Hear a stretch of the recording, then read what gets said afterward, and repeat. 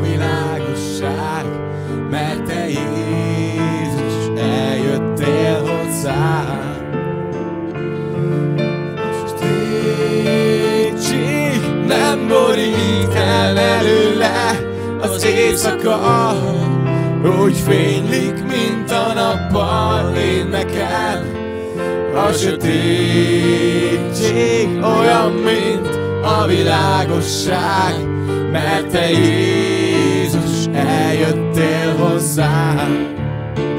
Meg vagyok győződve, hogy sem halál, sem élet, sem démonok, és semmilyen hatalmasság. Sem amik most vannak, sem amik jönni fognak, sem magasság, sem mélység többé már soha semmi, semmi nem választhat el örökké tartó szerelmettől Istenem, amit adtál a te egyetlen fiadban, ami Urunk Jézus Krisztusban. Soha semmi semmi, semmi nem választhat el örökké tartó szerelmettől, Istenem, amit adtál a te egyetlen fiatban, ami Urunk Jézus Krisztusban.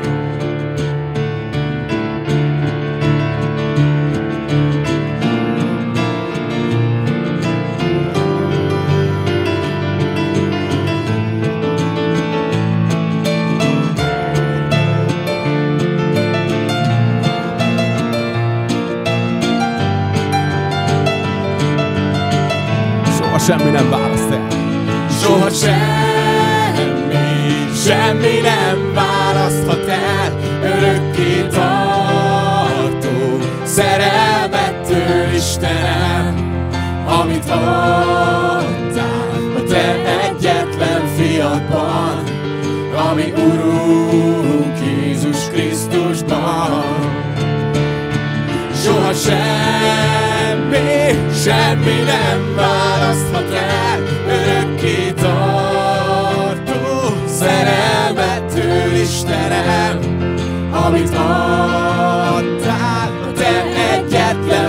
egyetlen fiadban, ami Urunk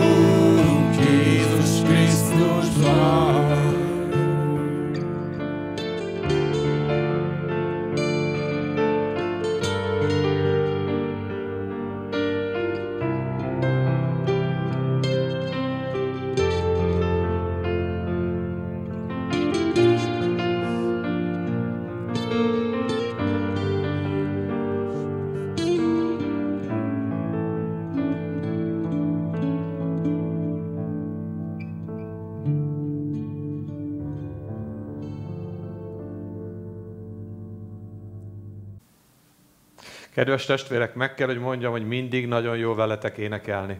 Jó veletek együtt imádkozni, jó veletek együtt énekelni. Most pedig szeretettel köszöntöm a Bibliaiskolánk vezetőjét, Tugyi Jánost, aki eh, itt van közöttünk. János, örülök, hogy itt vagy, örülök, hogy látlak. Mint ha fogytál volna. Egy kicsit, Ugye? nagyon, nagyon picit. Nagyon jó nézel ki, remélem jól van a család, jól vagytok. Köszönjük, jó Eh, vagyunk, hála az úrnak. Örülök, hogy ide ellátogattál most ebbe a műsorba. Ugye ez a lehetőség adatot most nekünk. Kérlek, hogy szolgálj a gyülekezet felé. Nagyon örülök, hogy itt vagy, és Isten áldjon meg. Köszönöm szépen. Köszönöm a lehetőséget én is, pásztor. Az Úr nagyon áldjon meg mindenkit az ő drága szeretetével. Élek ezzel a lehetőséggel, amit a pásztor ö, lehetőséget biztosított számomra. Nagyon örül a szívem. Ha másképpen nem is, de legalább így láthatlak benneteket. Aztán meglátjuk, hogy, hogy az Úr hogyan formálja a továbbiakban. Én hiszem azt, hogy nem sokára fogunk találkozni, nem kell amennyig várni, uh-huh. de ha ott találkozunk, az is jó lesz, én úgy gondolom.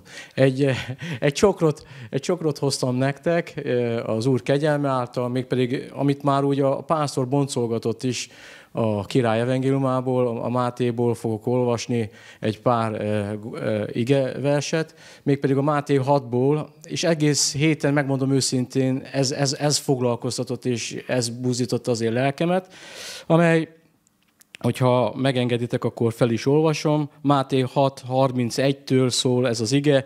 Ne aggodalmaskodjatok tehát, és ne mondjátok, mit együnk, vagy mit igyunk, vagy mivel ruházkodjunk. Mert mindezeket a pogányok kérdezik. Mert jól tudja ti mennyi atyátok, hogy mindezekre szükségetek van. Hanem keressétek először Isten országát, és az ő igazságát, és ezek mind megadatnak néktek.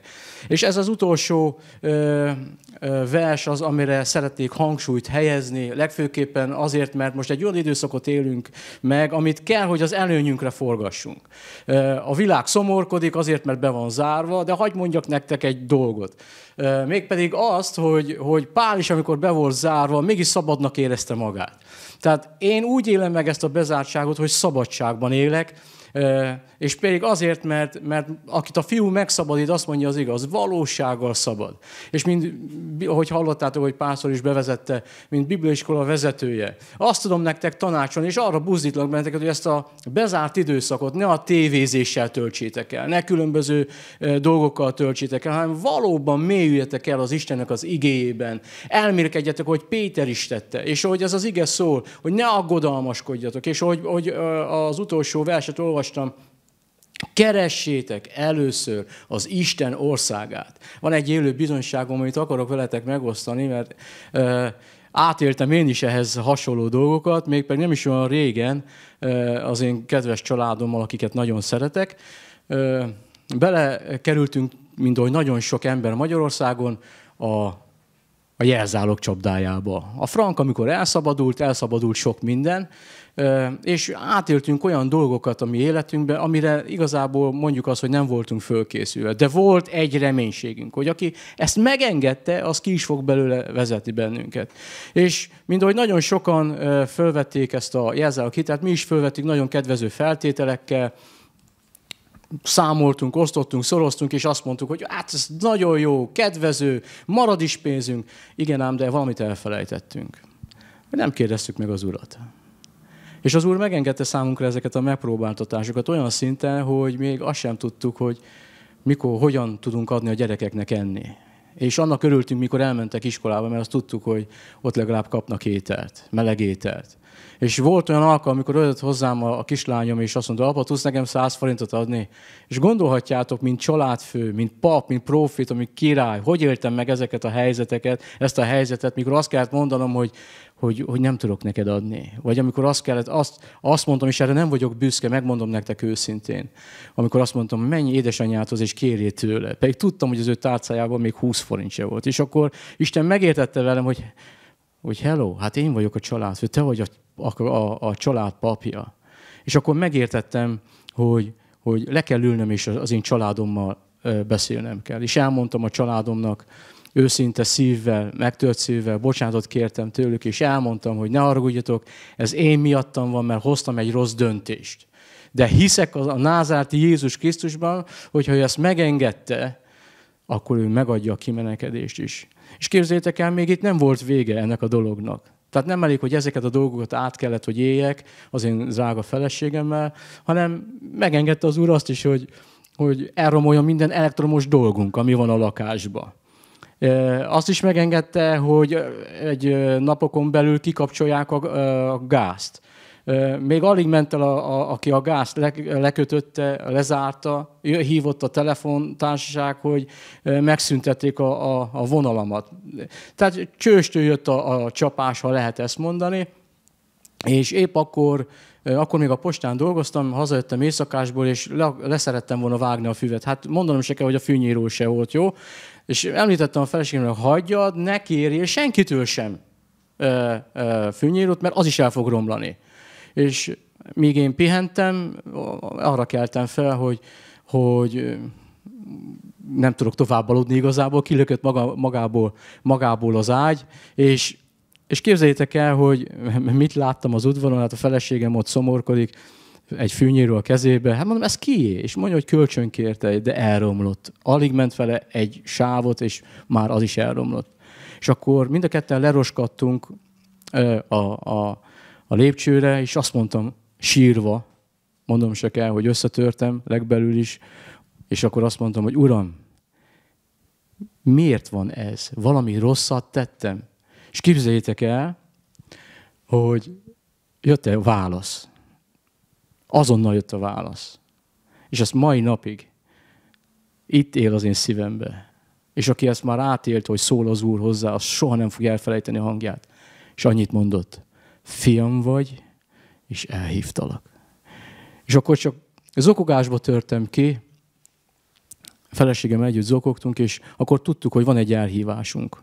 És képzeljétek, még azon a héten küldött hozzánk az Úr egy, egy embert, nem mondom a nevét, mert ismeritek, aki, aki, akit az Úr küldött hozzánk. És akkor elmondtam az Úr üzenetét, és amikor ő elment, akkor mi azt mondtuk a feleségemmel, nincs veszteni valónk. Meg kell tennünk. És megfogadtuk a tanácsokat, és hála az Úrnak ebből a, ebből a dologból csodálatosan mentett ki bennünket. Még azon a héten, képzétek el, valaki, egy olyan ember küldött 70 ezer forintot, ismerjük az illetőt, amivel vissza tudták kötni a gázt. És még ők kértek elnézést, mert nem, nem értették, hogy ennyi gyerektől hogy lehetett kikötni a gázt de mivel vissza kellett kötni, az ki kellett, hogy fizessük. De persze nekünk egy filérünk nem volt, de az úr erről is gondoskodott. És még sorolhatnám így tovább, tovább, tovább ezeket a dolgokat. Tehát, hogyha először keresed az Isten országát és az ő igazságát, minden megadatik néktek. Minden. Minden. Tehát ebben a nehéz helyzetben is ne restüljetek meg imádkozni, ne restüljetek meg Bibliát olvasni, igét kutatni. Hivatkoztam én is, uram, uram, nem tudok mire hivatkozni, csak arra, hogy, hogy szeretlek téged. Hogy a legnehezebb időszakomban is, hogyha úgy is volt, az én családommal mentünk a gyülekezetbe. És képzétek el, az Úr erre tekintett, a hűségünkre tekintett. És én hiszem, hogy aki te ma engem hallgatsz, illetve az életadót nézed, akkor azt kell, hogy mondjam, Isten meg tud téged segíteni, fel tud téged emelni, bármilyen mélyen is vagy. De keresd először az Isten országát és az ő igazságát. Tehát ne felejtsd el, nem elég, hogy keresed az ő országát, az ő igazságát is kell, hogy keresd. És az ő igazsága nem más, mint az Isten igéje, az ő igéje. És mondhatnék még nagyon sok igét, de hagyd mondjam azt, hogy nincs arra most lehetőség. De buzdítlak téged, ha még nem vagy bibliaiskola hallgató. Legyél az, mihelyt lehetőség lesz. Jelenkezz, szeretettel hívlak és várlak. És mélyünk el együtt az Isten igéjében, mélyünk el az ő tudományában. Kell, hogy bizonyos tudományokkal rendelkezzünk. Én, én abban hiszek, nem a Facebookban, én úgy hívom, hogy fecebuke. De, de, de nem abban kell, hogy higgyél, nem a különböző médiáknak, hanem Isten igéje az, amely tudósít. És erről számtalanszor beszélt a pásztor is. Hogy nem a híreket kell, hogy hallgass. Ha híreket, hírekről akarsz hallani, vedd elő a Bibliádat, és kövesd a jeleket. Ezt kívánom számotokra. Legyetek áldottak, és használjátok ki a lehetőséget, hogyha már be is vagyunk zárva, de akkor is szabadok vagyunk, legyetek a családotokkal, szeressétek a feleségeteket, a férjeteket, a gyerekeket, és használjátok ki minden lehetőséget az Isten jelenlétére. Legyetek áldottak. Ámen. Kedves János, nagyon jó volt, jó volt hallani ezt a bizonyságot. Szerintem sok embert megérintett, és köszönjük, hogy megosztottad velünk. Isten áldja meg a kedves feleségedet, az egész családot. Köszönöm, hogy eljöttél hozzánk. Én köszönöm, pásztor, hogy hívtál. Kedves testvérek, szeretném folytatni a a harmadik jellel. Ugye olyan csodákat nézzünk át Jézus Krisztus életéből, amelyekben jeleket is helyezett el. Ugye a csodák, amelyeket Jézus cselekedett, ezek közül vannak olyan csodák, amelyek jelentős eseményeket, jelentős dolgokra, tanításokat hordoznak, és jelentős, jelentős dolgokra hívják fel a figyelmet ezeket keressük, ezeket nézzük. Most a harmadik alkalomhoz érkezünk el. Ugye az első, hogyha figyeltétek és végigkövettétek az eddigi adásokat, a jelek a csodákba címmel, akkor láthattátok, hogy először megnéztük a kánai csodát, vagyis Jézus Krisztus a vizet borrá változtatja, a törvény kő vedreit használja, mennyivel inkább tud használni bennünket, akik eh, valóban az új szövetség edényei vagyunk, olyan cserépedényekben, törénkeny testben, de a szívünk olyan, mint az arany, és olyan, mint az ezüst, de hasonlíthattam volna a, a, a tömlőhöz is, emlékeztek, a régi tömlő és az új tömlő. Az új tömlő az urgalmas, és befogadja az új bort.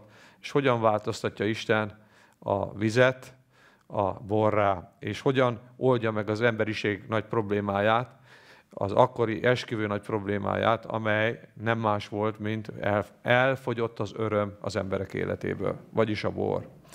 A második jel, amit szintén megnéztünk, ez pedig nem más volt, a kapernaumi királyi ember példázata, amely egy nagy igazságra tanított bennünket már az elején, hogy Jézus Krisztus szeretné lecserélni az emberek által, által összeeszkábált hitet, ami nem más volt, hogy először látni akartak egy csodát, és a csodán felépült a hitük, és azután ez a hit valamilyen módon működött az életükbe, a csodákra felépült hit, és Jézus Krisztus szerette volna, hogy ezt a hitet az emberek lecseréljék egy sokkal jobb hitre, egy igazi hitre, és ez a hit nem más, mint először hiszünk az Isten szavának, és a hitünk az Isten szavából jön elő, arra épül fel, és aztán az Isten szavának lesz majd bizonyítéka, vagyis lesznek jelek és csodák az életünkben, ezek a bizonyítékok Istentől.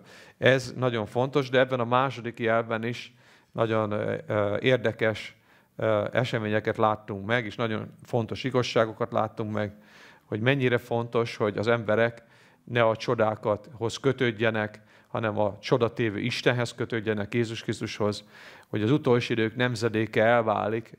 Ugye nagyon sokan keresik a, a, a, a Itt a Krisztus, Ott a Krisztus című dologra gondolok, keresik azokat, akik csodákat tesznek, de közben pedig elhagyják azt, aki, aki miatt e, e, ezt keressük, és igazából Jézus Krisztus lenne szükségünk, és visszatér az utolsó időkben lesz majd egy egyház, most éljük ezt meg, hogy visszatér az Úr Jézus Krisztus szavának a becsülete, ez egy jel, éjséget támasz, majd Isten a végén össze fogom ezt foglalni az ő igéje után.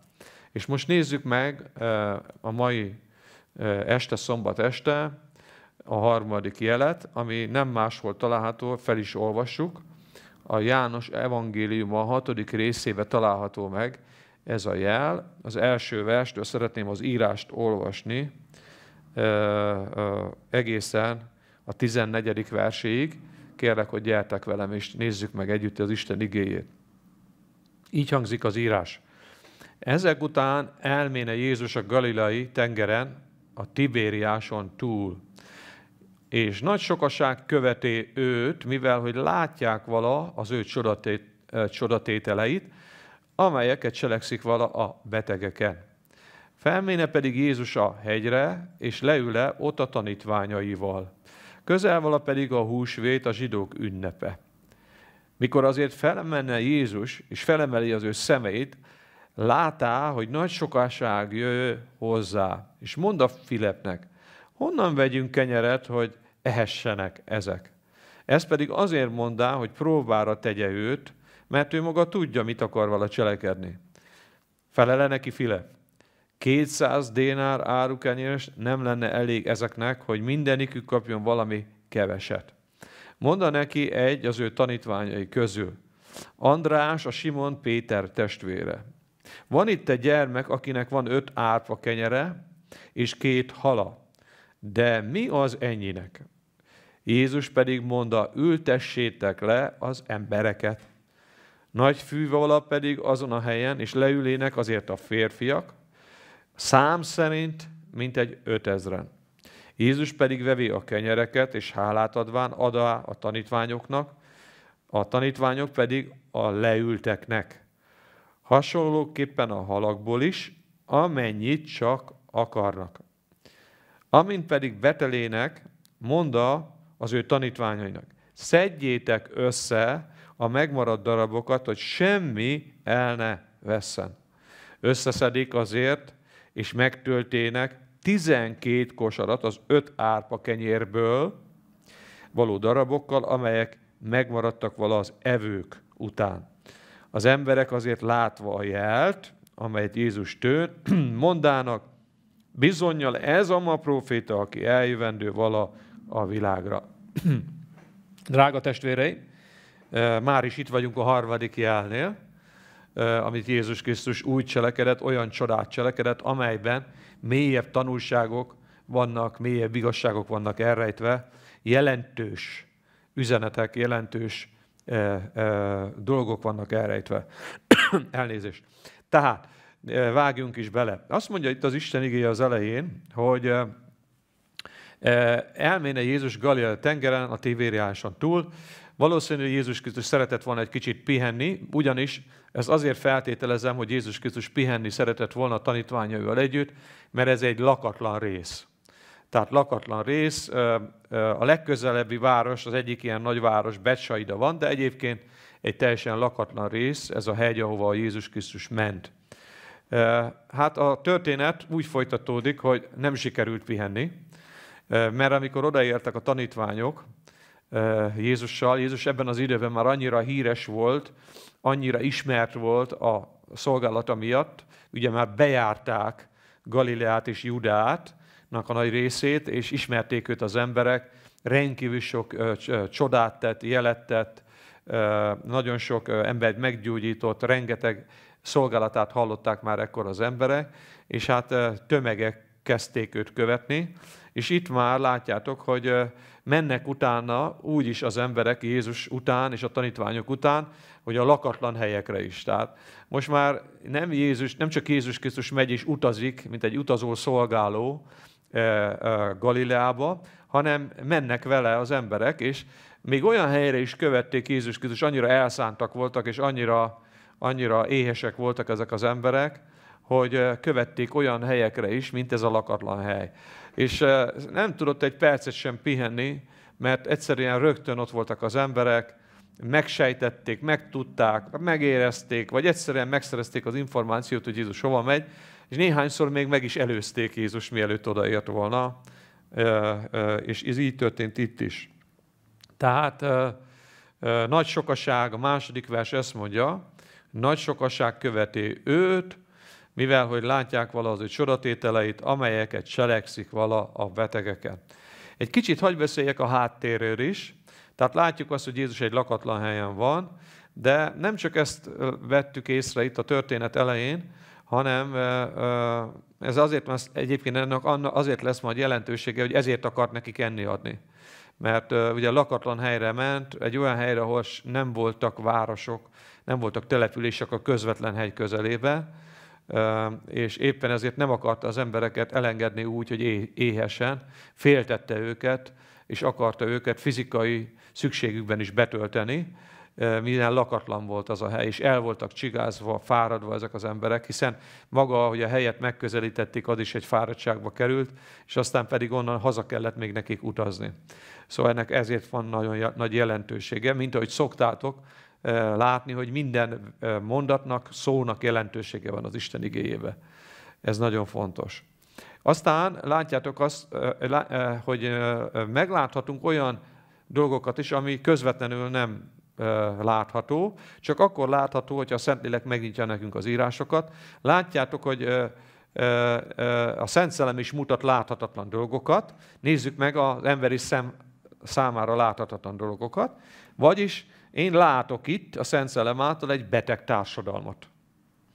Hát nagyon beteg volt ez a társadalom, rendkívül sok nyomorult, erőtelen, beteg, számkivetett, üldözött, eladósodott ember volt, aki különböző betegségben, nyomorúságban szenvedett, és ez a beteg társadalom nem tudott mit kezdeni a betegeivel. Ezt is lehet látni. Szóval ezek az emberek azért követték, és azért is volt Jézus Krisztus ennyire, itt mondja, hogy látták a sok csodát a betegeken. Mert a betegekkel szinte senki nem törődött. Egyrészt azért nem törődtek a betegekkel testvéreim, mert nem voltak hatásos módszerek arra, az orvostudomány szinte sehol nem volt abban az időben, hogy egyáltalán az ismert betegségek közül némelyet tudtak valamilyen módon kezelni, de az is drága volt, ezért az emberek legtöbbször, tudjátok, hogy gyógyították magukat? Ahogy tudták, otthon.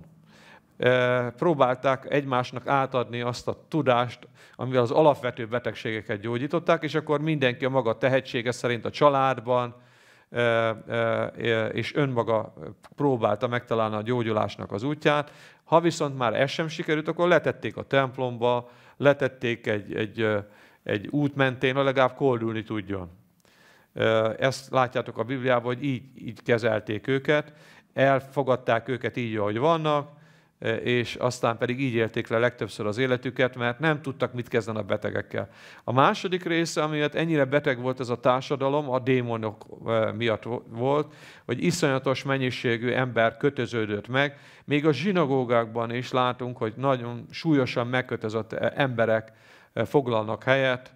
Tehát a társadalom egyetlen rétegét sem kimélte a szellemi terheltség, nem csak a lelki, meg a fizikai problémák, hiszen ebben az időben nagyon nehéz volt élni, nem volt egyszerű az élet itt Izraelben. Ugye a rabság miatt, a római iga miatt, ugye az uralkodók és folyamatosan tizedelték a lakosságot, illetve nyomorgatták a lakosságot. A római birodalom szintén a kegyetlenségéről volt híres, és kemény adókat vetett ki, és maga az időjárásnak is ki voltak téve, hiszen abban az időben az emberek abból éltek, amit megtermeltek, és hogyha nem volt jó az időjárás, akkor asszály volt, vagy esetleg más egyéb betegségek, problémák sújtották a termést, és akkor éheztek az emberek.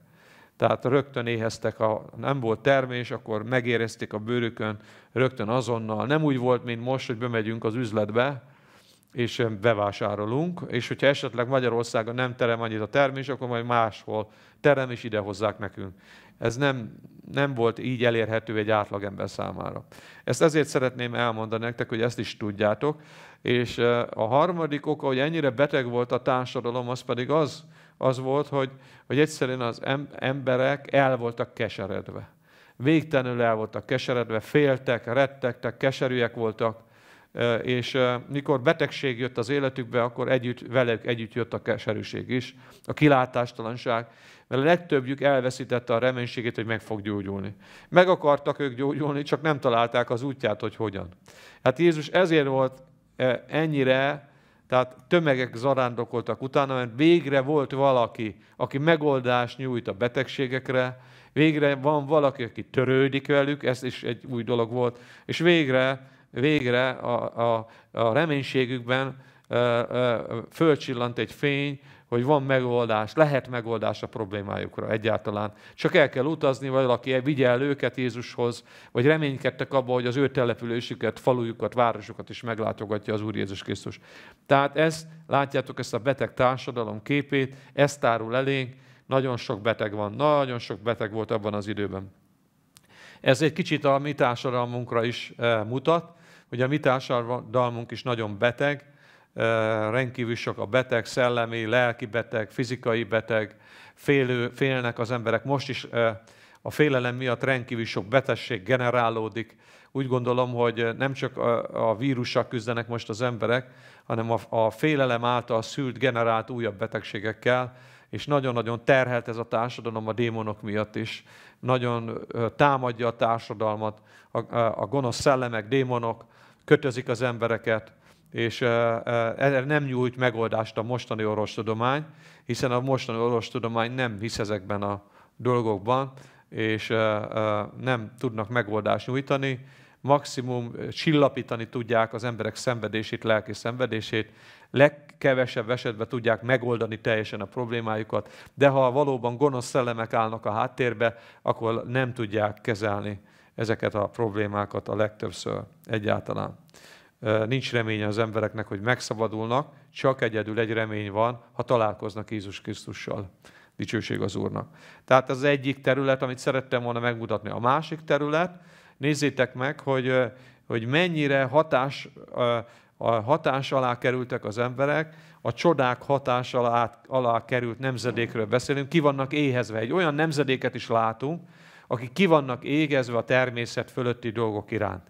Ez is a színfalak mögött van, ezt sem lehet látni pillanatok, e, e, az első pillanatra, amikor elolvassátok az igét, e, viszont ha belenéztek mélyebben, akkor látjátok, hogy éhesek voltak a természet fölötti után. Éhesek voltak, és ezért, ha a Simon mágus volt, az, aki csodát tett, akkor tömegek zarándolkoltak Simon mágushoz, ha esetleg más egyéb embernél tapasztaltak valami természet fölöttit, akkor oda mentek, mert ki volt éhezve ez a nemzedék, mert ez a nemzedék szinte csodamentes nemzedék volt. Csodamentes, természet fölötti megnyilvánulások, azt a részét nem ismerték, ahol Isten avatkozik be. Azt, hogy a gonosz szellemek beavatkoztak, azt ismerték, de az Isten által beavatkozott természet fölötti világra ki voltak éhezve a társadalom, nem csak beteg volt, hanem éhes társadalom volt a természet fölöttire. Ezt szerettem volna nektek megmutatni, azért is, ezért vonzott tömegeket. Tömegeket vonzott a betegségek miatt, a nyomorúságok miatt, és tömegeket vonzott az éjség miatt, amivel éhezték, éhezték azt, hogy lássanak csodát, illetve, ha említ, hagyj említsek még talán egy harmadikot, ami nagyon fontos szintén, hogy végre találtak egy olyan embert, aki törődik velük a szeretet után is ki voltak éhezve. Tehát ez a társadalom, amiben ők éltek, nem a szeretetről volt híres. Senki nem szerette őket. Egyáltalán nem törődtek velük, és a szeretetnek a legfeljebb a családba találták meg a, a, a megnyilvánulásait, de a társadalomban nem túl sok szeretet volt, könyörtelenül, kegyetlenül végrehajtották a törvényeket, nem törődtek az emberek sorsával egyáltalán, és végre itt van valaki, aki törődik velük. Ez nagyon megérintette a szívüket, aki oda megy hozzá, beszél hozzájuk, és törődik velük. Ez a szeretet megérintette az embereket, és vonzódtak a szeretet felé, rohantak a szeretet felé. A csodák látványáról még néhány dolgot hagy mondjak, hogy ez az is hozzájárult, hogy, hogy az embereket ennyire megragadta a csoda, hogy, hogy egyszerűen az a társadalmi berendezkedés, amiben ők éltek, el kell, hogy mondjam nektek, az, az nélkülözte az ilyenfajta eszközöket. És néhány dolgot hagy említsek meg. Az ige így mondja, hogy Jézus Krisztusra följegyezték, hogy ő, róla azt mondták az emberek, hogy senki úgy nem beszélt, és senki nem cselekedett úgy, mint ő. És miért mondták ezt az emberek? Néhány gondolatot szenteljünk ennek is, drága testvérek, hogy miért állították, hogy Jézus különleges volt. Jézus különlegesen érintette az embereket, nem úgy beszélt, nem úgy tanított, nem úgy cselekedett, mint az írástudók, a főpapok, a nép vezetői, nem így, hanem másképpen. Mi volt a különbség? Tehát a különbség néhány dologban, csak felsorolásképpen megemlítem. Az első ilyen nagyon fontos, hogy, hogy nem szoktak hozzá az emberek, hogy úgy tanított valaki a templomba, hogy erővel hanem elmondta szárazan, emberi módon, a maga képessége, tehetsége szerint, ha esetleg volt szónoki képessége, akkor tanított úgy a templomba, de nem volt erő benne. Tehát nem szoktak hozzá az erővel teljes tanításhoz. A második nagyon fontos különbsége, hogy Jézus Krisztus szolgálta, tanította és beszélt az emberekhez, az az volt, és különbségképpen ez megjelent az ő szolgálatában, hogy egyetlen egy szolgálónak sem, akik a templomba szolgáltak, a papok közül, az írástudók közül nem volt csoda a szolgálata nyomán. Tehát nem, nem, nem volt. Tehát egyszerűen nem, nem voltak csodák. Nagyon nagy filozófiai eszmefuttatások voltak, kitűnően tanították a törvényt, Jézus meg is dicsérte őket, a farizeusokat, hogy rendkívül jól tanítanak a törvényről, de ugye a cselekedeteiket nem szabadott követni, mert nem csináltak semmit meg ebből. De hát ez nagyon fontos, hogy nem volt, nem volt benne csoda, nem voltak csodák, egyáltalán nem láttak ilyet.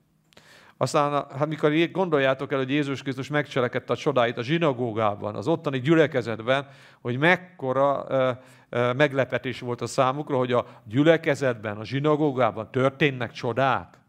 Hát ehhez nem voltunk hozzászokva egyáltalán. Remélem, hogy a gyülekezetben is visszatérnek a csodák. Az Istentől való jelek, dicsőség az Úrnak, mert ez következménye a hitünknek, dicsőség Istennek.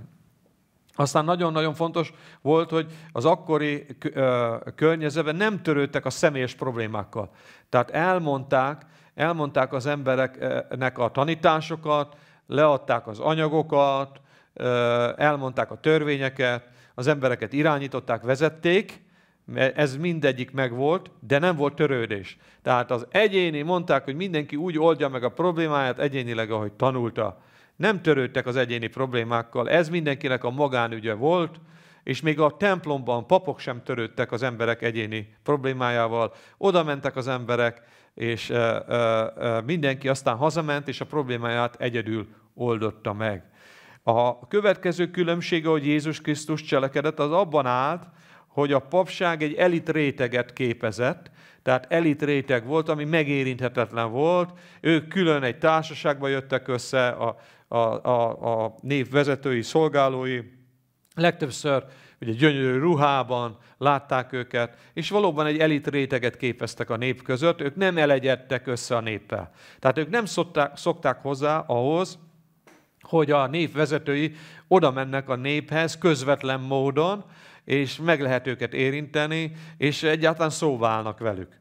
Ezt nem szokták meg, és Jézus Krisztus ebben is változást hozott. Ő közvetlen volt az emberekkel, meg lehetett érinteni, lehetett tőle beszélgetni, kérdezni lehetett tőle, és teljesen úgy viselkedett az emberekkel, hogy az emberek feloldódtak a jelenléteben, nem egy elit réteget képviselt.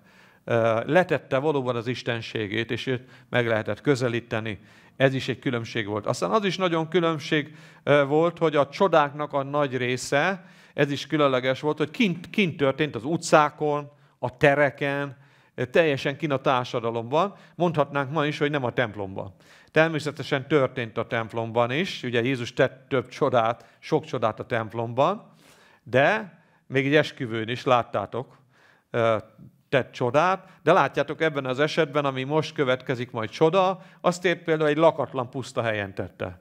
Tehát kint, a társadalom, az emberek között, kint, a városokban, a folyópartokon, eh, hegyeken, eh, pusztákon történt a csoda. Ez is különleges volt, hogy az emberekhez közel jött a csoda, ott az életükben történt meg, ahol éltek és laktak. Dicsőség Istennek. Aztán az utolsó, nagyon ö, ö, fontos rész, amit szeretnék, kívánok megjegyezni, hogy ö, ö, ő beutazta Judeát és Galileát, tehát egy utazó szolgáló volt. Ugye ebben az időben a legtöbbször csak a proféták, vagy különleges szent embereket lehetett megkeresni, de olyat, aki végig utazta Galilát és Judeát ritkán láttak az emberek, és Jézus ebben is egy korszakalkotó változást hozott. Ő, mint egy, egy Istentől csodálatosan felkent szolgáló, az Isten fia, a legfőbb tanító, a legfőbb apostol, a legfőbb pásztor, a legfőbb evangélista, a legfőbb, mit nem említettem, proféta, mindent említettem azt hiszem az öt szolgálatai ajándék közül, utazó szolgálatot vállalt. És elment, és utazott, és oda ment az emberek közé, és ö, ö, ment, és beutazta az egész területet, nem azt várta, hogy hozzá menjenek elsősorban az emberek, ha bár ez is megtörtént, hanem ő is oda ment az emberek közé, ebbe is változást hozott. Drága testvérem, tehát az most az első részét a harmadik jelnek annak szenteltem, hogy egy kicsit a hátteret is megvilágítsam, és még egy gondolatot hagy mondjak, és aztán ezt az adást befejezzük, mert a következő e, alkalommal vasárnap délelőtt fogom folytatni, amikor meglátjuk még inkább a részleteket. Tehát így nézett ki. Aztán azt mondja, felele pedig a harmadik vers, felele pedig Jézus, eh, felméne pedig Jézus a hegyre, bocsánat, és leül-e ott a tanítványaival. Közel vala pedig a húsvét, a zsidók ünnepe. És erről is hagy beszéljek egy eh, gondolatot, ezzel fejezem be a mai szolgálatomat, és aztán a következő vasárnap délelőtti szolgálatban pedig még a részleteket is meg fogjuk nézni. Az első dolog, hogy ő fölment a hegyre, tehát nagyon érdekes, hogy fölment a hegyre, és ugye ez, ez maga nem lenne különleges, de hogy mit csinált a hegyen, nézzétek meg. Nagyon számomra tanulságos az, hogy emberek, amikor felemeltetnek, vagy egy magas helyre jutnak, mit csinálnak. Hát van, aki csak bámuldozik, van, aki élvezi a dicsőséget, hogy magasra emelkedett, és itt tovább. De ha szellemben megvizsgáljuk ezt, hogyha valakit felemel a Jóisten, Ugye itt egy fizikai magaslatról beszélünk, de látjátok, hogy egy fizikai magaslatot is milyen sok mindenre lehet használni. Egyrészt arra lehet használni, hogy lássuk vele jobban az embereket, akik minket követnek. És Jézus Krisztus ezt a magaslatot, ezt a fizikai magaslatot arra használta, hogy leült, és végignézte az embereket, akik gyülekeztek lent a hegy, hegynek a tövében, és keresték őt, és látta jól, sokkal jobban látta, mint a síkvidéken, rálátása volt az embereknek, emberek életére, és figyelte őket, hogyan gyülekeznek, és milyen sokan összejöttek, látta ezt a nagy tömeget. És elkezdett még a magaslaton is szolgálni. Én kívánom teljes szívemből, hogyha a Jóisten felemel benneteket, vagy engem, vagy bárkit, minden magaslatot, szellemi magaslatot is arra használjunk fel. Tudtuk egy álmen mondani, testvérek? Minden hegy, minden, hogy mi megalázzuk magunkat, és szolgáljunk ott. És azt mondja, hogy minden hegy alászáll. És úgy gondolom, hogy aki, aki sokat kapott a jó Istentől, aki felemeltetett, az legyen mindenkinél alázatosabb, és hogyha tényleg sokat kaptunk, és tényleg felemeltetünk, akkor ezzel szolgáljunk.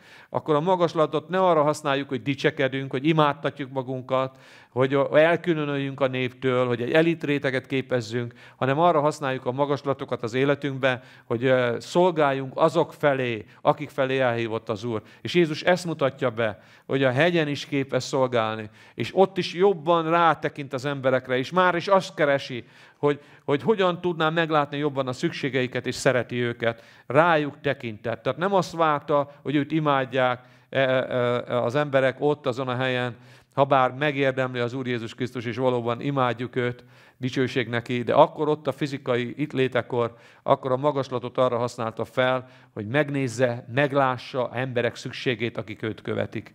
Dicsőség Istennek.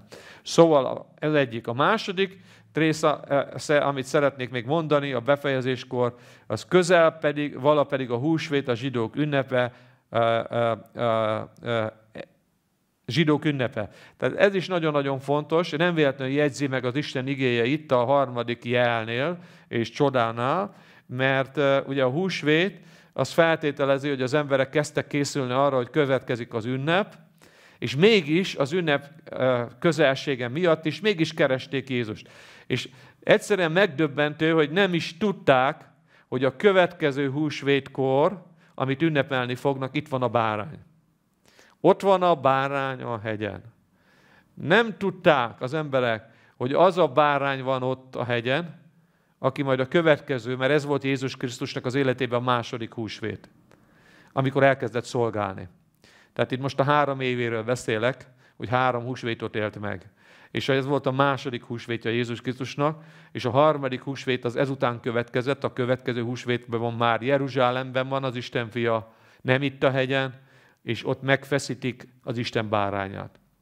És megdöbbentő, hogy a bárány itt van közöttük, és a bárány eteti őket. Még mielőtt az ünnep elkövetkezett volna, már ott vannak, mielőtt a húsvét ünnepe bekövetkezett volna, már ott van a bárány, akkor még nincs kijelentve az emberek előtt, még nem, nem tudták azt igazán, hogy, hogy a bárány van velük, az Isten báránya, a következő húsvéton szemmel láthatólag ott lesz majd az Istennek a báránya, és most is ott van velük, és most is táplálja őket, és most is gondot visel róluk, és, és még, még hagyd mondjam el nektek, hogy valójában Jézus Krisztus hogyan nézte ezt a helyet. Hogy közeledett a húsvét, és hogyan gondolt Jézus Krisztus arra, hogy a következő húsvéton már nem itt leszek, nem az emberek között leszek, hanem Jeruzsálemben leszek, és a következő húsvétkor odadom majd az életemet az emberekért, mint az Isten báránya. Dicsőség Istennek. Tehát, kedves testvérek, ezzel fejezem be itt ezt a hátteret. Ha holnap délelőtt, vasárnap délelőtt szeretném folytatni ezt az üzenetet, és gyertek velem most imádkozni, imádkozzunk azért, hogy eh, ebben a leterhelt társadalomban, készek vagytok velem imádkozni? Ebben a beteg társadalomban, ebben a leterhelt társadalomban, erre a csodára kiéhezett társadalomra, amely nem ismeri a természet fölötti isteni részét, tudjon Jézus Krisztus egy olyan népet előállítani, egy olyan gyülekezetet előhozni, egy olyan munkát előhozni, amelyben az emberek valóban meggyógyulnak a betegségeiből, mindenki mondja egy ámen. Megszabadulnak a megkötözöttségeiktől ebbe a démonizált társadalomba, és tudjunk olyan életet élni az emberek előtt, amely, amely, amelyekben Isten csatornaként tud mennünket használni, hogy jeleket és csodákat tud tenni az emberek között, mert a szükségeik egy részét csak így tudja megoldani, betölteni, és minden egyes helyet, ahol mi élünk. Mert úgy gondolom, hogy a Jó Isten minket felemelt, hogy ezt a magaslatot arra használjuk ki, hogy nézzük meg az embereket körülöttünk. Nézzük meg azt, nézd meg te is, drága testvérem, hogy, hogy kik között emelt fel az Isten. Tudsz egy ámen mondani? Kit között emelt fel, és nézd meg azokat az embereket, hogy Isten milyen módon akar téged használni, hogy azokat a szükségeket be tudja tölteni, ami annak azoknak az embereknek az életében van. Jézus így nézett szét a hegyről, és ne felejkezzünk el a bárányról, aki itt van közöttünk, és a bárány alázatosan szolgál. Imádkozzunk, drága testvérek! Köszönöm, bárány Jézus, az Isten báránya. Köszönöm, drága Jézus Krisztus, hogy valóban felemeltettél ott azon a helyen, és, és köszönöm Jézus Krisztus, hogy fölmentél arra a helyre, és ez a fizikai magaslat segített téged abban, hogy jobban meglásd az embereknek a szükségét. Köszönöm Jézus Krisztus, hogy most is felemeltettél. Hálát adok neked, Úr Jézus Krisztus, hogy fent vagy az Atya jobbján felemeltette, nem régen vettük azt a te igédben, hogy Jézus, te elragadtattál, felemeltettél, felmentél a mennybe, és jelenleg ott vagy az Atya jobbján, és én hiszem teljes szívemből, Úr Jézus Krisztus, hogy ott azon a hatalmas, csodálatos helyen, amit úgy hívunk, hogy mennyország, amit úgy hívunk az Isten országa, amit úgy hívunk a mennyei Jeruzsálem. Ott azon a helyen, ezen a magas helyen, ahova te felemeltettél, most is ránk tekintesz. Látod ezt a kiéhezett nemzedéket. Látod, Uram, ezt a világot, amely teljesen beteg és nyomorult.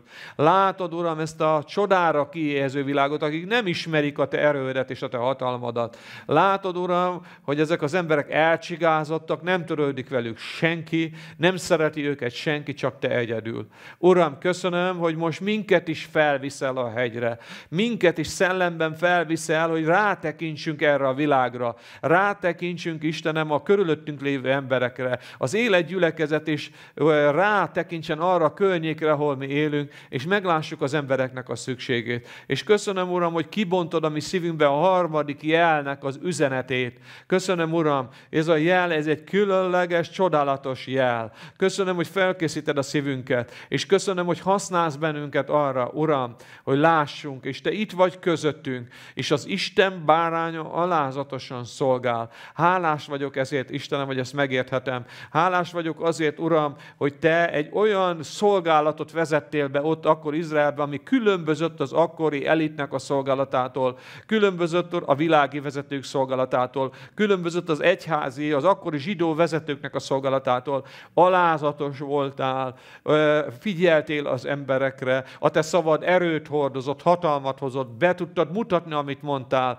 Uram, és töröttél az emberekkel, oda mentél közzéjük, megközelíthető voltál. Uram, bejártad az egész környéket, az egész területet bejártad, és Uram, nekünk is azt mondtad, hogy járjuk be az ígéretnek a földjét, hogy amire a lábunkat rátesszük, az a terület lesz a miénk. Dicsőség neked ezért. Uram, kérlek, hogy most formáld a szívünket, hogy mindenki megérthesse a te üzenetedet és a jeleket, és add meg, Uram, Istenem, drága megváltom, hogy az élet gyülekezeten keresztül, és az én életemen, és mindannyiunk életén keresztül beteljesedjenek ezek a jelek, hogy emberek szükségei legyenek betöltve, és az életgyülekezet ne azért növekedjen, atyám, hogy sokan legyünk, hogy rengetegen kövessenek bennünket, rengetegen csatlakozzanak a gyülekezethez, hanem úgy növekedjen, hogy az emberek szükségét be is tudjuk tölteni. Be tudjuk tölteni, hogy a idejáró emberek meggyógyuljanak, az idejáró emberek megszabaduljanak, és mi is ki tudjunk menni az emberek közé, ahogy Jézus tetetted, és ott tudjunk szolgálni az emberek között, hogy a csodáknak, a jeleknek a nagy része ne a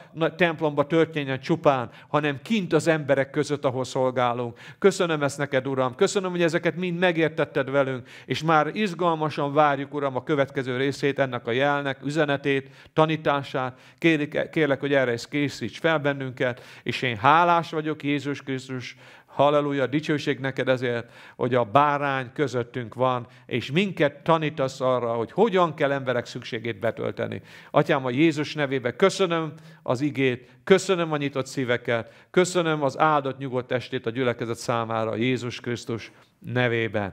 Ámen. Kedves testvérek, köszönöm, hogy meghallgattatok, és köszönöm a szereteteteket, szíveteket, Fogadjuk a harmadik jelet, és készítsétek a szíveteket, hogy teljesen megértsük az Isten üzenetét a viszontlátásra.